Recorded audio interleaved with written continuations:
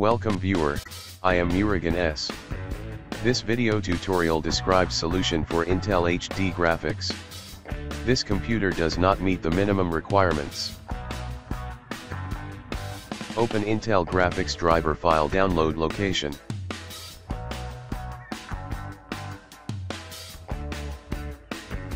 Run the setup file. The screen displays this computer does not meet the minimum requirements.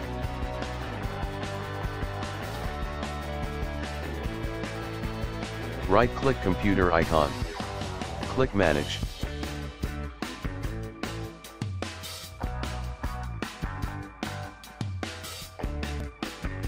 Click Device Manager.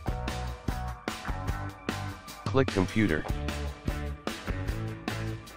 Add legacy hardware. Click Next. Click the second option. Click Next. Click Display Adapters. Click Next. Click Have Disk. Browse the location of Intel Graphics Adapter driver file.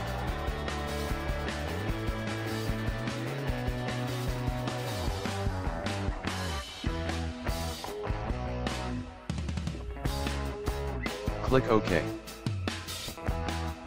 Select Intel HD Graphics. Click Next.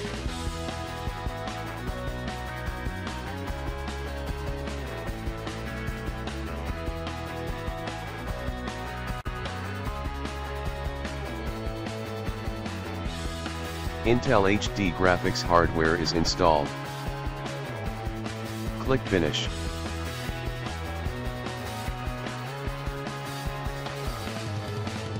Browse the Intel graphics download location.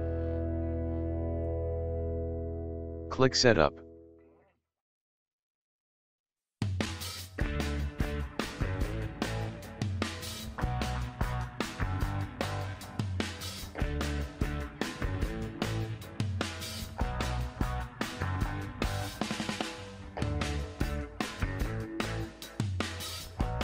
Intel HD graphics driver successfully installed.